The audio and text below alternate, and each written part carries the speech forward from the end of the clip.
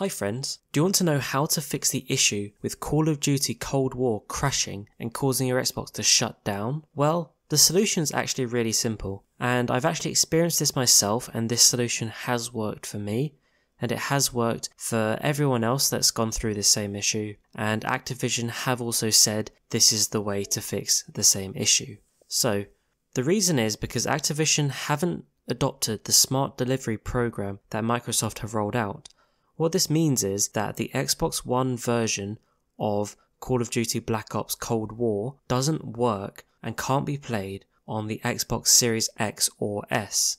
However, for some reason, it's still very easy to find and install the Xbox One version, whether it's from a disc or even from the Microsoft Store. You can still download the Xbox One version by mistake and install it on the Xbox Series X or S and this is exactly what's causing your Xbox Series X or S to crash. And a lot of people don't actually realize they've got the Xbox One version installed, because in fact, when you buy the cross gen bundle, you do get both versions of the game. And with that, it becomes quite easy, even from the Microsoft Store, to accidentally install the Xbox One version. Again, visually they look quite similar. Sometimes you do see that in the title it says Xbox Series X or S version, but once you've fully installed it, it doesn't actually say if it's the full version or not. So the best way to tell is to look at the file size. So check your file size. If it's around 80 gig, that means it's actually the Xbox One version. Whereas if it's around 130 gigabytes, that means you've got the right version installed, the Xbox Series X or S version.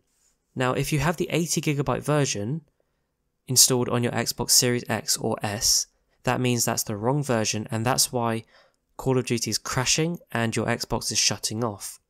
So what you need to do is delete this version of Cold War completely off your Xbox. So uninstall it so it's completely off your Xbox. Once you've done that, you then need to go back to the Microsoft Store and download the right version. When you download it, you need to check once it's downloading that it's around 130 gigabytes. It's just slightly more, I believe, than 130 gigabytes. And when you start the download, you'll probably see in the title it does say Xbox Series X or S.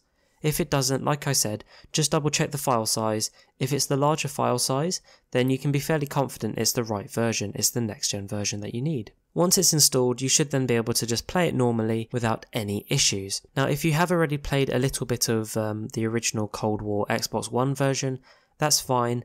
The save data should still already be there. For example, I'd already leveled up the MP5 before I realized what the issue was and I switched it and fixed the issue.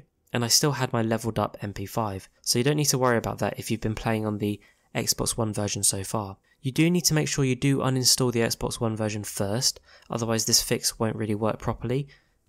And another tip is to make sure you install the Xbox Series X or S version on the internal hard drive. There are lots of issues where you install it on an external hard drive or even the external expanded storage. I've heard issues that doesn't make it run efficiently compared to it being installed on the internal drive, particularly for this game and I think it has something to do with the smart delivery, as I said, where Activision just haven't adopted it, and that's causing a number of issues. But this should fix the issue for 90% of you that are having the same problems me.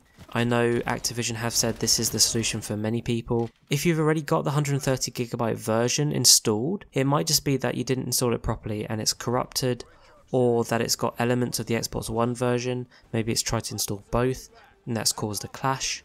So maybe just try and delete the 130 gigabyte version and then reinstall it. That might again fix your issue.